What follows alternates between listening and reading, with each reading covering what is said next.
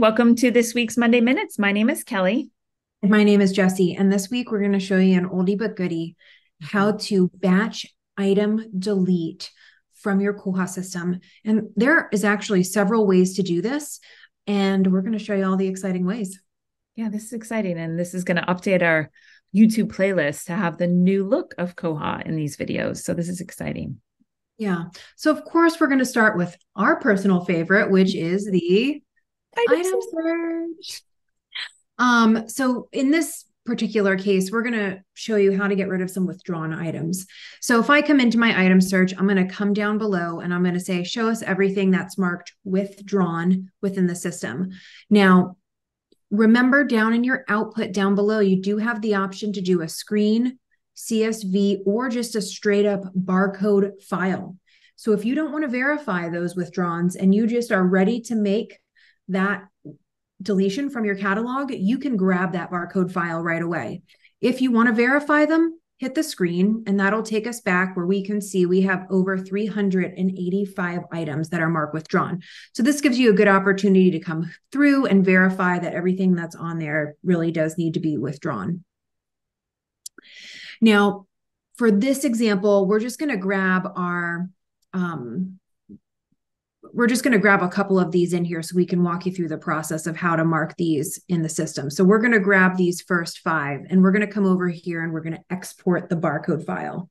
Now, what's the next thing we're going to do, Kelly? Well, batch modifications live in cataloging now. So we're going to head over to the cataloging module. And from here, right in the center of the screen, we are going to jump right into batch item deletion. So this allows us to come over and perform uh, deletion. Now, again, you could have walked out to the stacks and grabbed maybe you know, let's say 50 items that you want to move remove from the system. You could come down here and just scan those barcodes right in. Alternatively, we could grab that file that we just downloaded, grab those barcodes, and then bring those in. And Kelly, what will this present for us? This is going to show us all the details about the titles that we selected in that barcode and from starting in the item search, headed over to the barcode. And this gives us an opportunity to see everything. They're automatically selected to say these are the five or six that you are scheduled to delete. Are you sure? At this point, you could unclick any of these and say, oh, I didn't mean to do that one. Now, one key trigger down here is the option. If you select that checkbox, that will de- delete the record if there are no items remaining. So, if that was the last item on the record and you really want to get rid of it, you can also delete that record at the same time. Definitely saving so clicks, right? Yeah, definitely, definitely. So now we'll come in here. We're going to hit delete selected items. Um, in 2211, Koha now shows you um, the essentially the queue. Um, so you can actually see what's happening. We can see the progress, um, the number of items that were deleted, and then also the number of records that were deleted.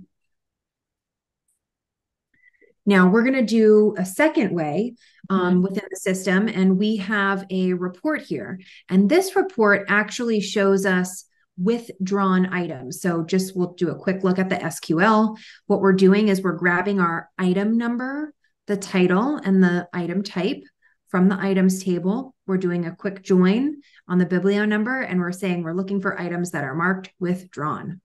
So now what this does is this gives us an opportunity to come in and actually batch, modify, or delete these items.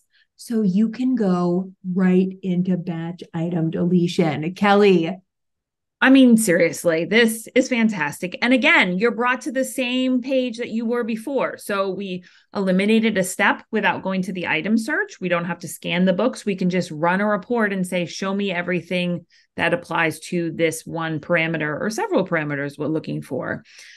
What I love is all the same ways that you get there, the same process is going to happen. So you're going to go through that same the same screens once you get that file into the batch item deletion option.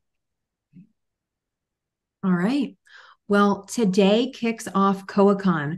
So if you are watching remotely, make sure to check out um, the streams, Twitter, whatever your social media stream is, and uh, make sure you watch what's going on. And we are on Monday presenting, so don't don't miss that one. Okay. Okay. Have a great week. Great week. Bye.